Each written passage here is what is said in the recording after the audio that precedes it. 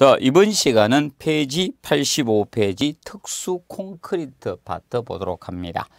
자, 이 특수 콘크리트 파트는 15회가 어, 개별적 문제로 마지막으로 출제가 되었습니다. 자, 그 이후로는 종합 문제의 지문 형태로 출제가 되고 있습니다. 그래서 앞으로도 종합 문제의 지문 형태가 될 가능성이 높습니다. 그래서 그 콘크리트의 기본적인 특성 부분을 우리가 정확히 기억을 하시면 됩니다. 자, 그러면 어, 이 서중 콘크리트는 더울 때 치는 콘크리트입니다. 서중 콘크리트.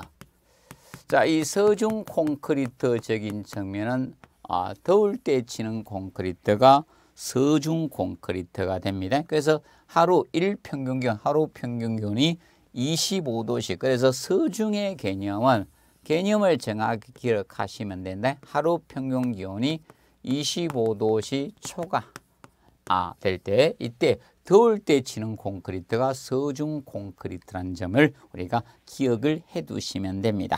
그래서 어, 2번에 보시면 어, 단위 수량이나 단위 많아지면 안 됩니다. 그래서 기본적으로 더울 때 치니까 이걸 많이 넣게 되면 수화 반응이 아, 안 그래도 어, 25도 초과되면요 덥잖아요.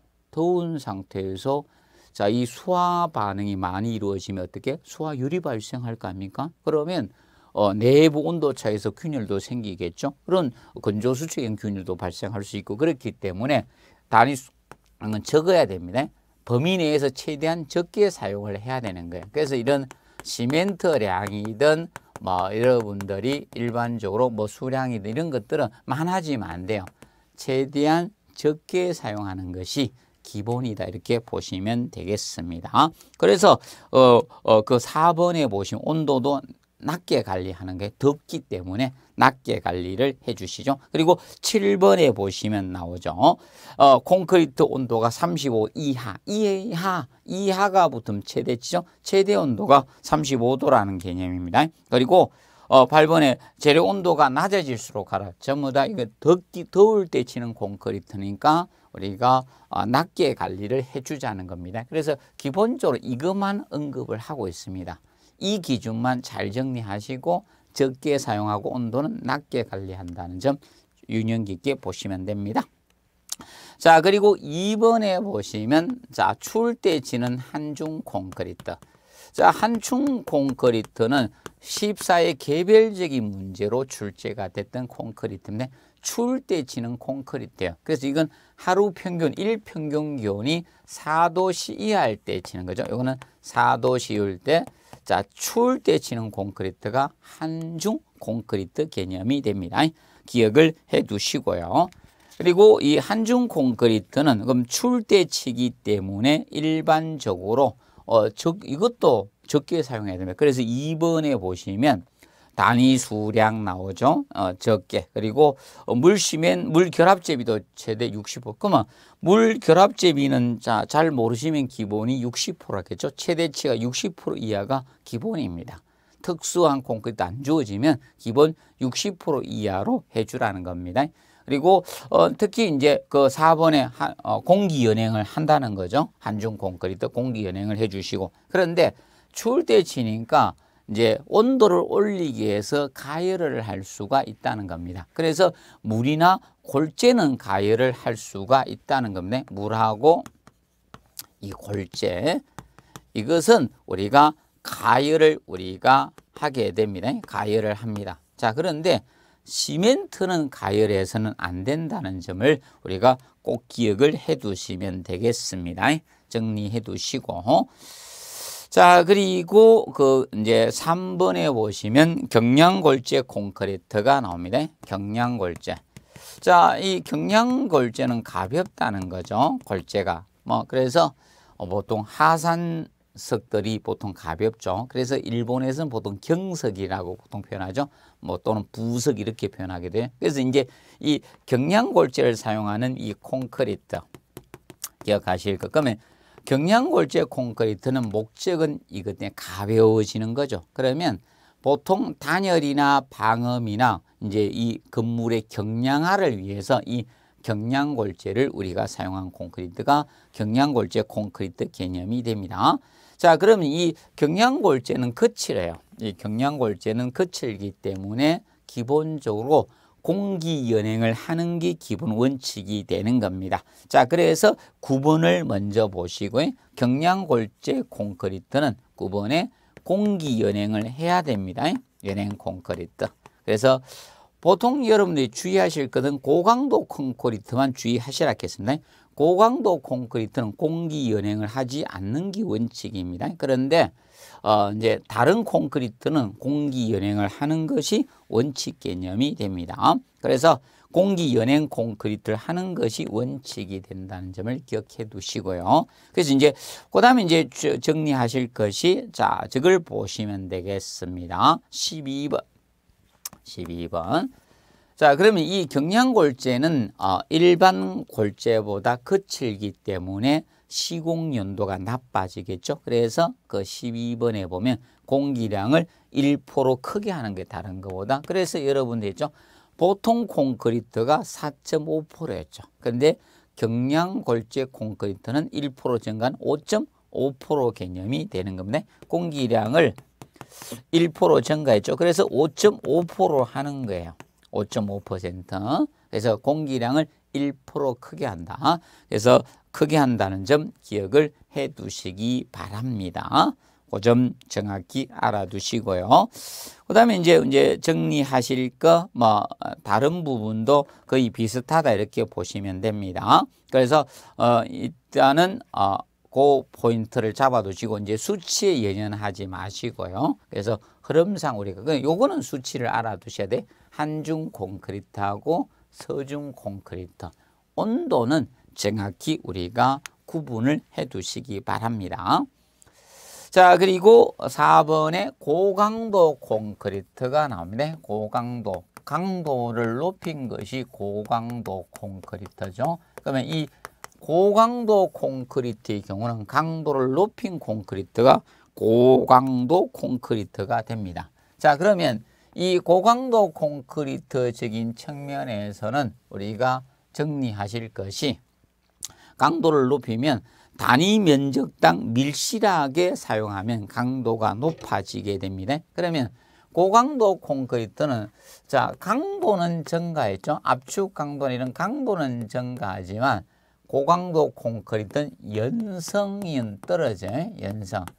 늘어나는 성질은 없죠. 그래서 연성은 떨어지게 되는 것이 고강도 콘크리트 특징입니다. 그리고 고강도는 어 이제 하재 내화성은 떨어진다. 보통 콘크리트에 비해서 이 내화성은 떨어지게 됩니다. 내화성. 그래서 특히 폭열 현상이 발생해요. 폭열. 그래서 어, 이 콘크리트가 폭탄처럼 터지는 폭열 현상이 발생합니다. 그래서 폭열이 발생이 됩니다. 어, 발생이 되기 때문에 내화성은 떨어집니다. 그 측면을 우리가 기억하시고 특히 고강도 콘크리트는 어, 치성 파괴 성향을 띱니다. 치성 파괴 성향을 나타내요. 그러면 치성이란 것은 어, 이것을 치성이라고 합니다. 재료를 변형하려고 하면 파괴되기 쉬운 성질을 치성이라 이렇게 이렇게 이것을 치성이라고 표현을 하게 됩니다. 그래서 치성 파괴 성향을 띠는 것이 고강도 콘크리트 개념이 된다는 점 정리를 해 두시고요. 치성 파, 아, 파괴 성향을 띱니다. 고강도 콘크리트가 아, 정리를 해 두시면 되겠습니다.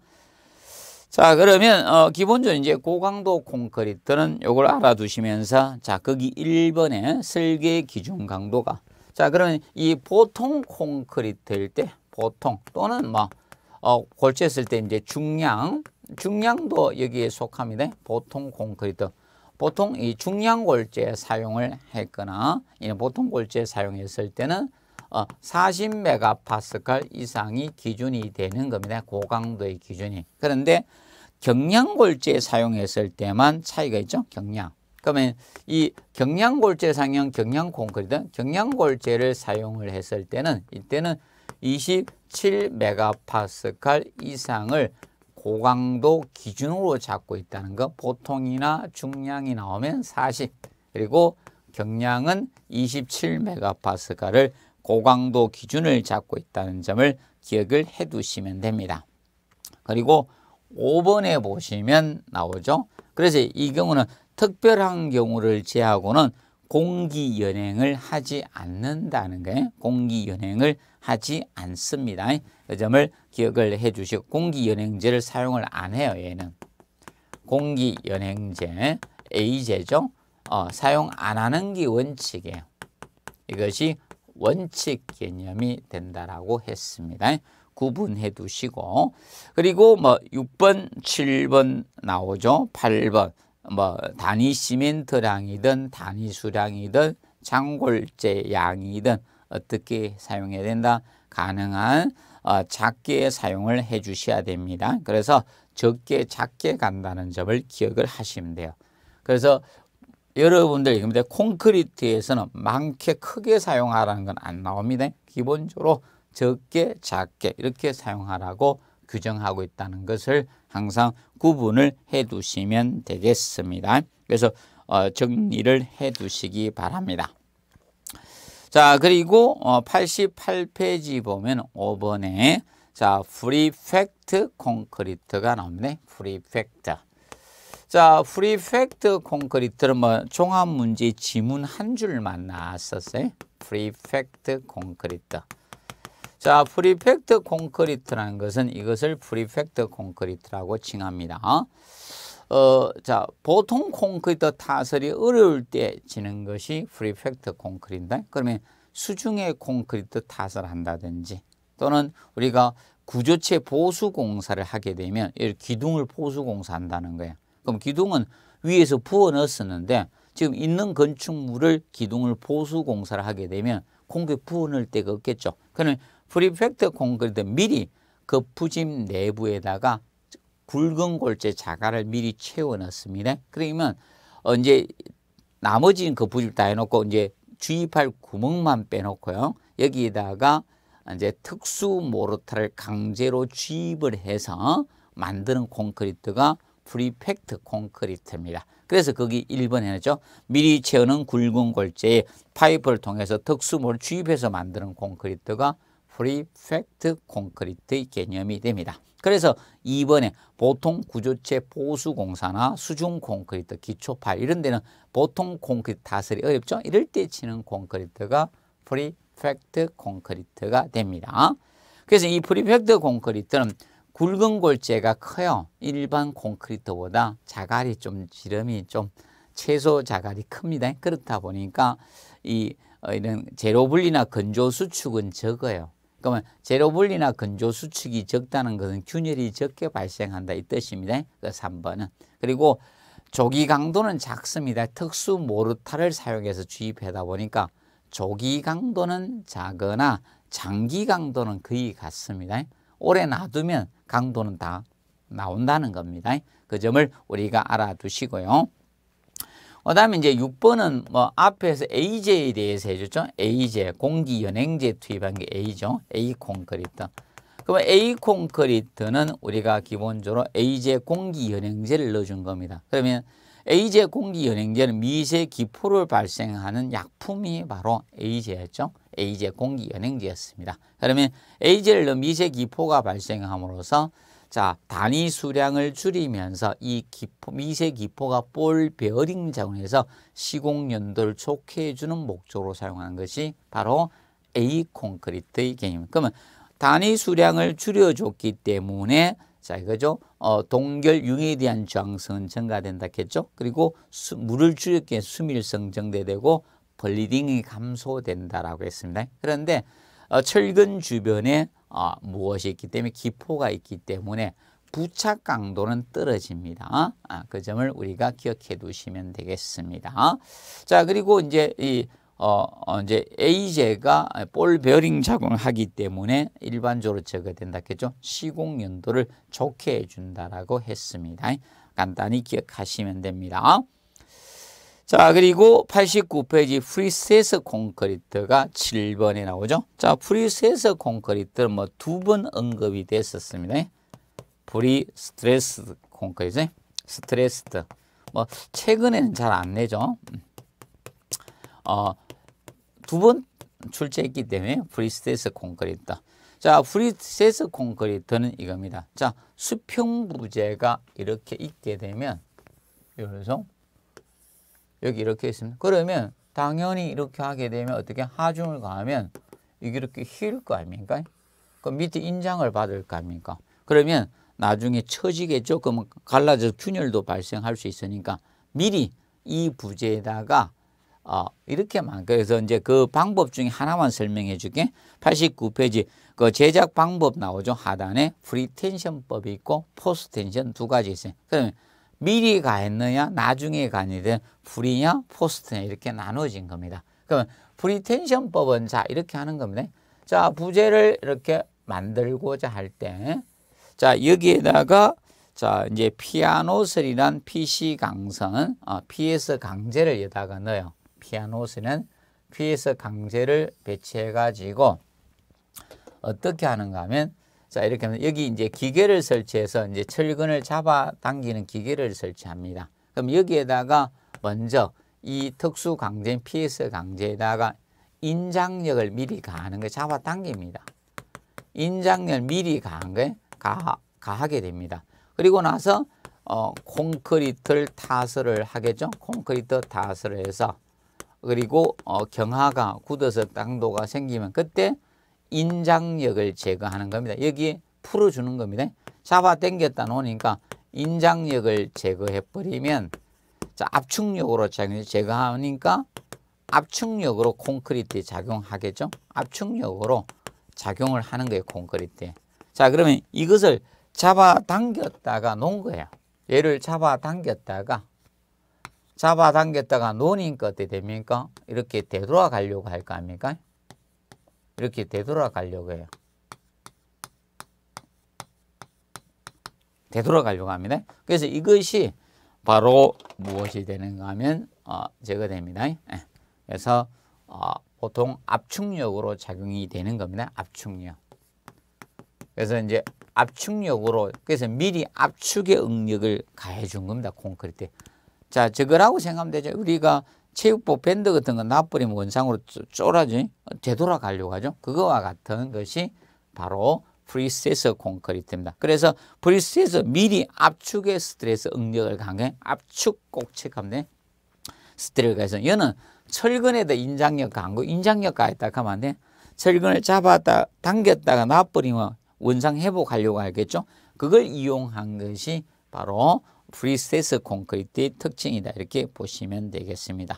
자, 정리하시고. 그런데 이 프리스트레스 콘크리트는 어, 알아두실 것이 뭐 특성에 대해서 우리가 정리하실 것이 자 이겁니다. 얘는 어, 기억하실 것이 무엇이냐? 자, 보, 어, 자 보통 콘크리트보다 이것도 강도가 커져요. 그래서 내화성이 떨어져요. 불에 약해져요. 프리스트레스 콘크리트는 내화성이 떨어집니다. 쉽게 강도가 크면 내화성은 떨어져요. 여러분들 철골도 강재도 어, 강도는 크죠. 대신 내화성이 떨어 불에 약해지는 겁니다. 예. 그래서 그 점을 명심을 해 두시기 바랍니다. 그리고 여기는 재료가 다 고강도 재료 써야 돼. 그래서 철근도 고강도 써야 되고 콘크리트도 고강도를 써야 된다는 거. 콘크리트도 이것도 고강도 콘크리트를 사용을 해야 됩니다. 고강도. 프리스트레스 콘크리트는 콘크리트도 고강도 콘크리트를 쓰게 됩니다. 그래서 이제 피아노선은 일반 철근보다 한 3배, 5배 정도 강도가 큰 철근이죠. 그래서 강도가 크다는 개념 우리가 알아두시면 되겠습니다. 어, 최근에는 많이 언급을 하지 않고 있다. 이렇게 보시면 되겠습니다. 자, 그리고 이제 페이지 90페이지 보면 뭐 유동화 콘크리트. 자, 유동화 콘크리트란 것은 콘크리트 유동성을 높여준 것이 유동화 콘크리트의 유동성. 그러면 보통 어, 어, 일반적으로 이겁니다. 콘크리트의 유동성을 좋게 해서 유동화제란 약품을 투입하는 거예요. 그러면 이 유동화제 약품은 어떤 역할을 하는가 하면 이 역할을 합니다. 보통 콘크리트에 시멘트 모래 자갈을 배합을 했을 거 아닙니까? 이때 시멘트가 접착성이 있죠. 여러분들 이겁니다. 모래나 자갈은 접착성이 없잖아요. 그러면 어, 이 시멘트의 접착력을 일, 어, 일정 시간 동안 없애주는 거예요. 나 시멘트 아니다 이겁니다. 그 접착력 없으면 끈기가 없으면 잘 들어갈 거 아닙니까? 그래서 이걸 일정 시간 동안 시멘트의 접착 성을 없애줘 가지고 콘크리트가 잘 들어가도록 해주는 것이 유동화재입니다. 그렇기 때문에 이 유동화 콘크리트, 유동화재를 첨가해 준 콘크리트가 유동화 콘크리트가 되는 겁니다. 개념상 우리가 알아두시면 되겠고요. 그리고 어 9번에 보시면 고내구성 콘크리트가 나옵니다. 9번에 고내구성 콘크리트 내구성을 높여준 콘크리트가 고내구성 콘크리트가 되는 겁니다. 그래서 이 고내구성 콘크리트는 그래서 1번에 보시면 자 우리가 비볐을 때 얼마 만에 사용 가능한가 그걸 다루는 것이 어 1번이 되겠죠. 그래서 이 고내구성 콘크리트는 그래서 일반 콘크리트보다 30분 짧다라고 했습니다. 그래서 여러분들 보시면 25도씨 이상일 때 어, 보통 콘크리트가 1.5시간이었죠. 어, 그리고 우리가 25도씨 미만일 때 2시간이었잖아. 그런데 이 고내구성은 30분 줄이라 했습니다. 그러면 25도씨 이상일 때는 60분 1시간 그리고 25도씨 미만일 때는 어, 1. 어, 요거는 5시간 되죠. 90분 개념이 되는 겁니다. 기억을 해 두시고요. 그리고 이제 이, 어, 이 고내구성 콘크리트는 우리가 알아두실 것이 뭐 페이지 91페이지 보시면 적어 나옵니다. 그래서 어, 정리해 두실 것이 내구성 높이니까 물은 슬럼프 값은 적어야 되죠. 그래서 8번에 슬럼프는 120mm 이하로 하는 거예요. 그리고 9번에서 보시면 어, 적어 나오죠. 디귿에 보시면 염화 물량이 염소는 0.2입니다. 보통 콘크리트 염화 물량은 염소위는 0.3이라 했죠. 0.3 이렇게 가르쳤죠. 그런데 고 내구성 0.2로 낮춰주시면 되는 겁니다. 그래서 그 개념 간략히 좀 정리를 해 두시면 되겠습니다. 그리고 10번에 동결 융해 작용을 받는 콘크리트는 자, 뭐 이 개념이 되죠. 동결 융해 작용을 받는 것은 어, 내구성을 저하시키는 요인이겠죠. 그래가지고 이런 경우는 물 같은 걸 적게 써줘야 되겠죠. 기본적으로. 그래서 어, 그 개념 정도 간략히 알아두시면 되겠습니다. 자 그리고 92페이지 뭐 콘크리트 성질 개념상 보도록 하겠습니다. 자 성질 개념상 먼저 블리딩 개념이 나오겠죠. 수분 상승 현상. 자 블리딩이라는 것은 이겁니다. 너무 어, 어, 과단 물을 사용해서 지나치게 물 시멘트 비가 커요. 물을 많이 사용했을 때 이거죠. 깔아앉는 거죠. 이렇게 굵은 입자들은 깔아앉는 거예요. 침강이죠. 그래서 침강하고 가벼운 것들이 위로 올라오는 거죠. 예, 그래서 가벼운 것이 위로 표면 콘크리트 표면 올라오는 거예요. 그러면 이때 물하고 미세 물질들이 상승하는 거예요. 물과 이런 미세 물질들이 어, 미세, 미세 물질들이 상승하는 현상이 바로 어, bleeding 개념의 수분 상승 현상이 되겠죠. bleeding. bleeding 개념. 그래서 이제 bleeding은 어, 뭐 시멘트 paste나 모르타르 콘크리트에서 이제 가단 그래서 원인은 일반적으로 가단 물의 사용입니다. 가단 물의 사용이에요. 물을 지나치게 많이 썼다네. 물의 사용으로 우리가 생기는 거예요. 그리고 어, 저의 경우 어, 이제 부적합한 골재 사용했을 때 이 유해 물질은 부적합한 골재 사용 시도 원이 돼요. 골재 사용 시도 원이 되고 그리고 원인이 될 수 있는 것이 자 저겁니다. 바로 어 이제 시멘트의 분말도. 시멘트의 분말도가 큰 걸 쓰는 게 큰, 어, 분말도가 작은 것을 썼을 때는 작은 것. 작은 것이 입자 크다겠죠? 이걸 사용했을 때 우리가 생길 수 있는 겁니다. 구분해 두시면 되겠습니다. 정리해 두시고. 자, 그리고 우리가 알아두실 거, 어, 저 부분을 보도록 하겠습니다. 정리해 두시고 그러면 이것이 원인이에요. 그러면 방지 대책은 반대로 하시면 방지 대책 개념이 됩니다. 구분해 두시고 그리고 이때 올라오는 어, 이물질이 무엇이다? 미세물질이 laitance가 되는 겁니다. 그래서 2번에 어, 이제 bleeding 수가 물이 상승했죠. 그 증발되면서 그 표면에 백색의 미세한 물질이 남는데 그것을 아, 무엇이라 한다? laitance 이렇게 칭합니다. 그리고 어, 자 크리프라는 것은 어, 콘크리트 일정한 하중을 지속적으로 가하면 하중의 증가 없이도 변형이 계속 증대되는 현상을 크리프 장기 변형, 소성 변형을 의미합니다. 자, 쉽게 이겁니다.